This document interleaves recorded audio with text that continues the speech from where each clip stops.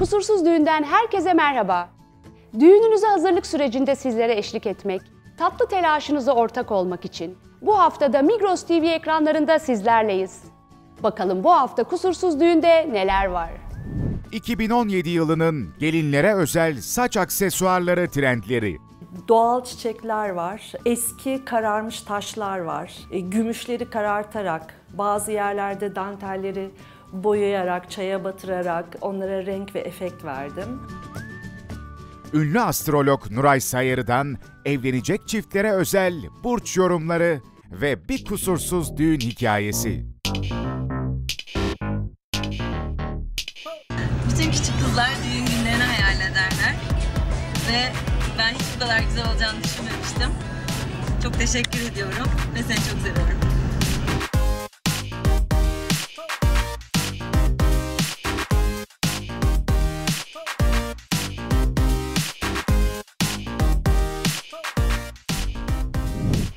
Şimdi de sırada sade olmanın ve zerafetin altını çizen birbirinden güzel gelin taçları var. Gelin adayları ekran başına. Kuru çiçeklerden taşlara, retro aksesuarlardan şapkalara kadar bu yılın saç aksesuar trendleri neler?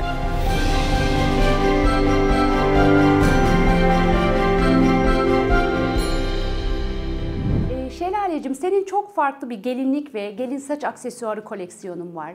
Ee, bu sene ne tarz çalışmalar yaptın? Neler ön planda? Bu sene e, koleksiyonumda biraz yine eskiyi yaşamak istedim. Biliyorsun ben vintage tarzını ve e, o eski kokuyu, dokuyu çok seviyorum.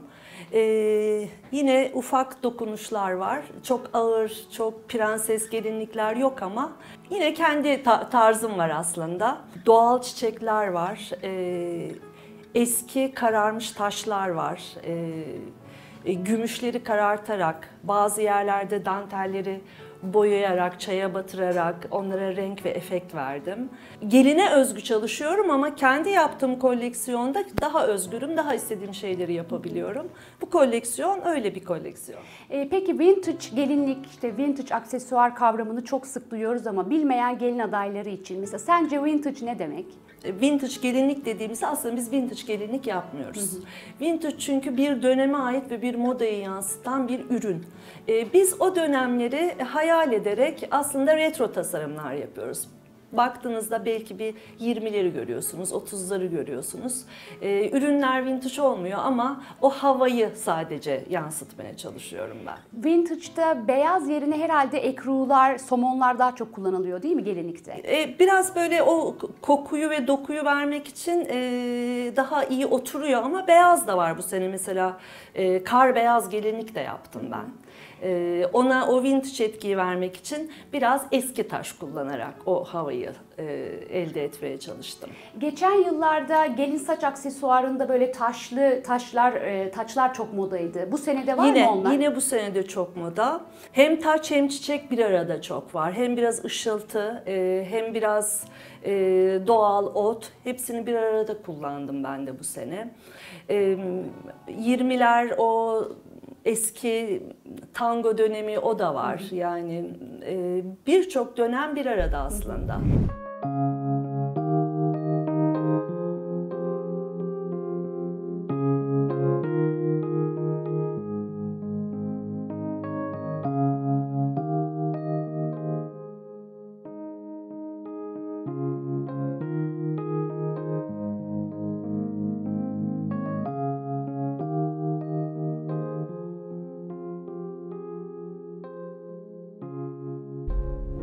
Meltemciğim bir e, aksesuarı sende denemek çok isterim. Ah, teşekkür Birlikte. ederim. Bu ne tarz oluyor? Bence bu Great Gatsby. 1930'lar 40'lar. Hı, Evet. Çok yakıştı. Oldu mu? Evet. Tam o dönem oldu. E, bu tarz bir aksesuarı e, ne tür bir gelinlikle takabiliriz? Ee, bence uçuş uçuş bir kır düğününde de kullanabilir ee, gelin adayları bu tacı. Prenses Açıksa- bir gelinlikle de olabilir bence. kullanabilir. Evet, e, saçını açık da kullanabilir. Dağınık bir topuzla da çok rahat kullanabilir. E, kır düğünleri için ne tarz e, aksesuarlar hazırlıyorsun? Doğal, e, tamamen doğal e, aksesuar çalışmıyorum ama e, mutlaka doğal kurutulmuş çiçek kullanıyorum, otlar kullanıyorum. Ve kır düğünlerinde mekanın e, gelinle bütünleşmesi çok önemli. Eğer e, gelin renkli e, bir aksesuar kullanıyorsa mekana mutlaka müdahale ediyorum. Bizim için çok farklı gelin buketleri de hazırlamışsın. E, gelin buketlerinde bu sene neler ön planda? Ben aslında çok e, modada ne var diye bakmıyorum. E, beğendiğim, hoşuma giden bana e, Aa, evet bunu kullanmak istiyorum dediğim aksesuarları kullanıyorum, çiçekleri kullanıyorum. Çok soft şeyler de yaptım bu sene. Çok soft çiçekler de kullandım. E, daha barok, daha e, koyu tonlarda e, arasında taşların, e, kristallerin olduğu buketlerde çalıştım. Çok hoş. Hep yapma çiçekle çalışıyorsun. Yapma artı e, doğal otlar. Bazen kendim kurutuyorum, bazen kurumuş çiçek kullanıyorum. E, bazen arkadaşımın aldığı bir çiçeği atmıyorum, onu bile kullanıyorum. Her şey değerleniyor. Değerleniyor, evet. Mesela e, bu tarz bir buketin ortalama fiyatı ne kadar? E, buketler 300-350 TL'den başlıyor. Saç aksesuarları. E, 200 ile e, 500 arasında değişiyor fiyatları. Kullandığımız taşın da önemi var tabii. Eğer e, tamamen Swarovski kullanıyorsak biraz maliyetimiz yükseliyor. Bu yıl gelinlere özel saç aksesuarlarında kuru çiçekler ve taşlar moda. El buketleri ise yine rengarenk olacak. Fiyat aralıklarına gelirsek, saç aksesuarları 200 lirayla 500 lira arasında değişiklik gösterirken, el buketleri 300 lira civarında. Ünlü astrolog Nuray Sayarı ile uyumlu burçların mutlu beraberliğini konuştuk. Nuray'cığım her şeyden önce çok teşekkür ediyorum. Bizi kırmadın geldin buralara kadar. Ben teşekkür ediyorum. Şimdi birlikte kadın erkek ilişkilerini bir masaya yatıracağız. Ee, astrolojide çiftlerin ilişkileri nasıl etkileniyor? Astrolojiye göre ilişki yoktur. Genelde toplumda hanımlar hayatımın doğru erkeği var mıyı, erkekler de hayatımın doğru kadını var mıyı sorgularlar. Haritanız birbirinizle ne kadar uyumlu. Astroloji sadece koç burcuyum, boğa burcuyumla olmuyor. Her bireyin dünyaya geldiği bir doğum anı var. Doğduğunuz anda ay hangi burçta, nasıl bir psikolojisi olan bir erkeksiniz, Yükseleniniz ne? Siz nasıl bir kadınsınız? Eril burçların etkisiyle erkek gibi mi davranıyorsunuz?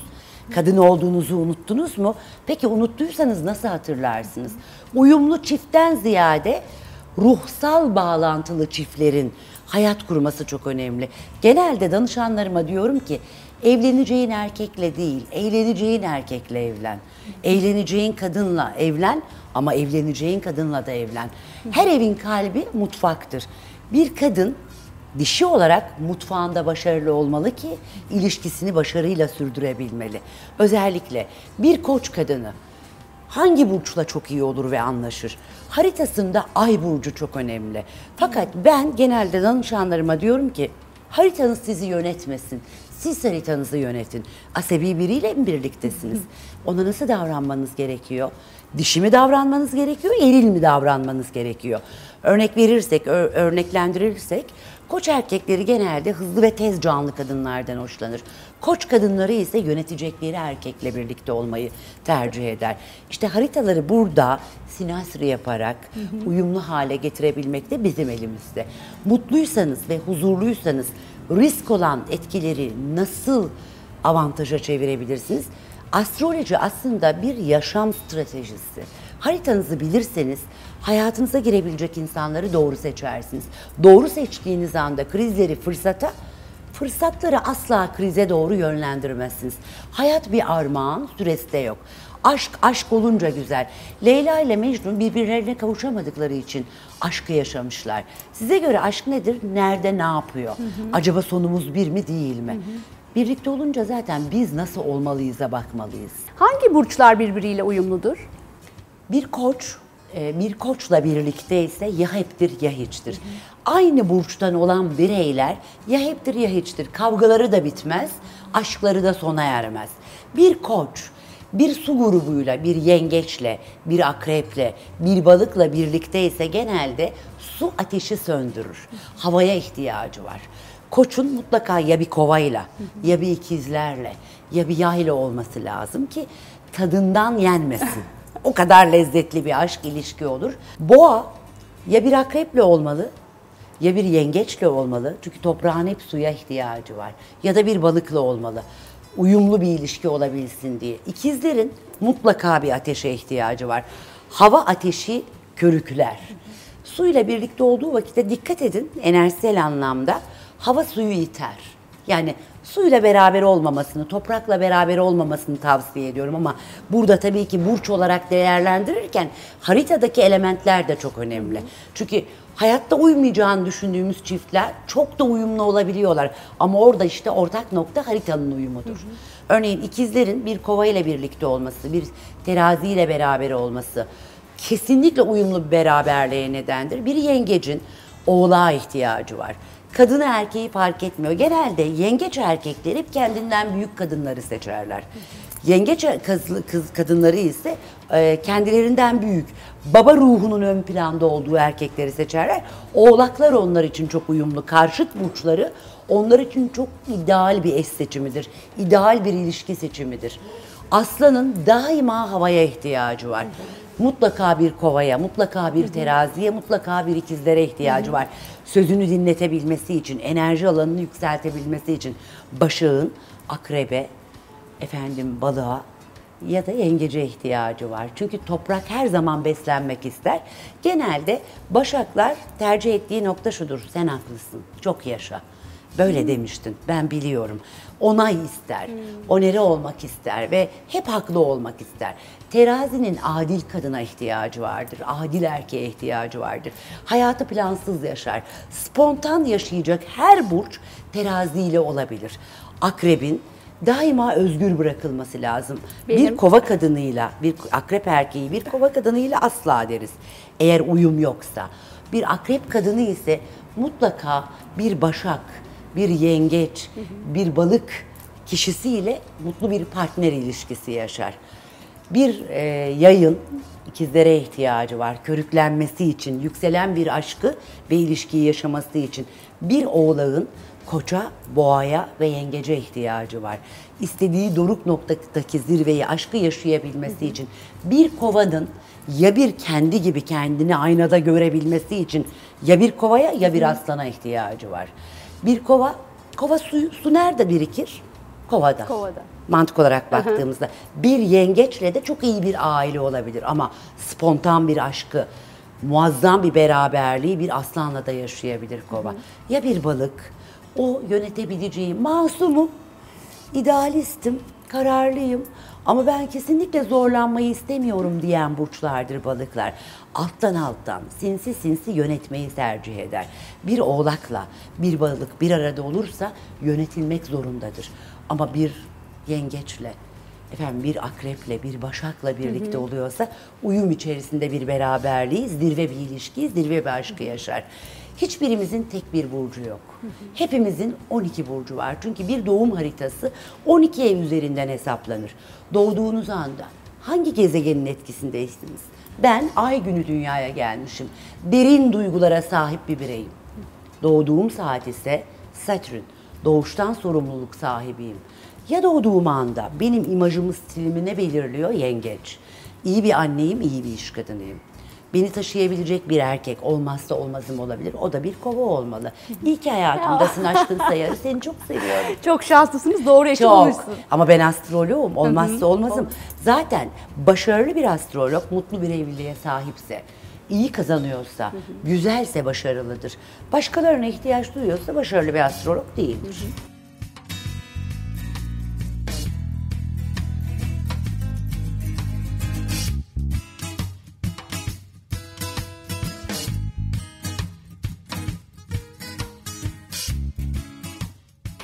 peki burçlar gelinlik seçiminde etkili mi? Çok. Ben örneğin bir kova kadınıyım. Kesinlikle taşlar tuşlar olmalı ayım aslanda. Pırıl pırıl parlamalıyım ya da tüyler sarkılmalı bir yerinden. Benim gelinliğimde gelinlik giyecek olsam. Ama bir başak kadınına olmazsa olmaz sadeliktir. Koç kadınları gösterişi iz bırakmayı sever. Gelinliklerini de bu şekilde tercih eder. Boğalar sade, sakin gelinlikler seçer ama çiçeğine önem verir. İkizler kalabalık istemez gelinliğini ama görsellik olarak duvağına önem verir. Yengeç kadını e, gelinlikten ziyade makyajına ve saçına önem verir. Aslan kadını kesinlikle havalı olmalı. Ayakkabısından takısına kadar her şey uyumlu olmalı. Terazi makyajıyla gelinliği bir bütün olmalı. Akrep dişiliği ön plana çıkmalı. Yay ayakkabılarıyla gelinliğinin dans etmesi gerekiyor. Çünkü hareketlidir, özgürdür. Ona göre gelinlik seçmeli. Oğlak tamamen kaliteli olmalı ve marka olmalı. Gelinliğin modelinden ziyade markası önemlidir. Kova süslü olmalı, yakıcı olmalı, iz bırakmalı. Balık duygusal gelinlikleri seçer ve genelde gökkuşağı gibi olmayı tercih eder. E, ve sıradan renkli gelinlikler giyenler genelde balıklardır. Son yıllarda gelinlikler de biraz renklendi. Bu konuda neler söylersin? E, gezegenlerin kombinasyonuyla alakalı örneğin siyah kuşak bir dönem moda olmuştu ya da pembe duvaklar renkli. Ya orada gezegenlerin de kombinasyonu çok önemli. Sıra dışı olmayı tercih ettikleri içinden ziyade içsel ruhlarının buna ihtiyacı olması nedeniyle. Güzel bence. Yani e, tabii ki adetlere, geleneklere, göreneklere uymak çok önemli ama benim ruhum neyi istiyor o da çok önemli. Çünkü ben bu hayata bir kere geliyorum. Eğer kırmızı gelinlik giyeceksem kırmızı giyeceğim. Hindistan'da genelde kırmızı. Orada kadınlar dişiliğinin kalıcı olmasını bariz ortaya koydukları için kök çakrayı harekete geçiriyorlar. Siyah ise bu ilişkide güç bendedir. Beden diliyle verilen enerji. Yani saygı duymak lazım. E, vermiş olduğum bu harika bilgiler için çok teşekkür ediyoruz. teşekkür İlk ediyorum. fırsatta geliyorum, yıldız haritama baktırıyorum. Hemen bakıyoruz. Bakalım nereye gidiyor Aynen, yolumuz. teşekkür ediyoruz. Ben teşekkür ederim. Sizin için seçtiğimiz haftanın kusursuz düğünü geliyor şimdi de ekranlarınıza.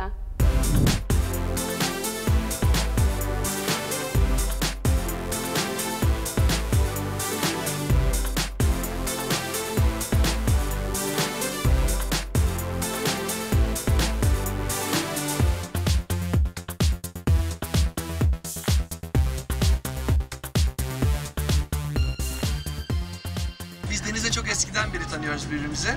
Ancak hiç böyle birlikte olacağımız aklımızın ucundan bile geçmezdi. Sonra bir gün Deniz beni bir dergide görüp ''Aa nasılsın, ne yapıyorsun?'' dedi. Ondan sonra benim hayat boyu beklediğim an geldi dedim. Ve o andan itibaren hiç durmadan Deniz'le iletişime geçmeye çalıştım. Sonrasında birkaç ay içinde iletişim çalışmaları meyvesini verdi. Ve Deniz'le bir yemek yemeyi başardım. Ondan sonra da bir baktık. Evleniyoruz. Bütün, bütün küçük kızlar düğün günlerini hayal ederler. Ve ben hiç bu kadar güzel olacağını düşünmemiştim. Çok teşekkür ediyorum ve seni çok seviyorum.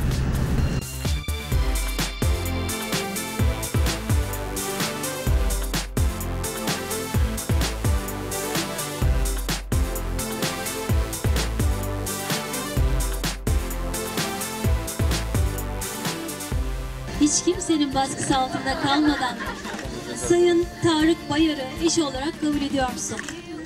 Evet! Tarık Bayar kendi isteğinle, hür iradenle, hiç kimsenin baskısı altında kalmadan Sayın Deniz Keskin'i eş olarak kabul ediyor musun? Evet. Bizimle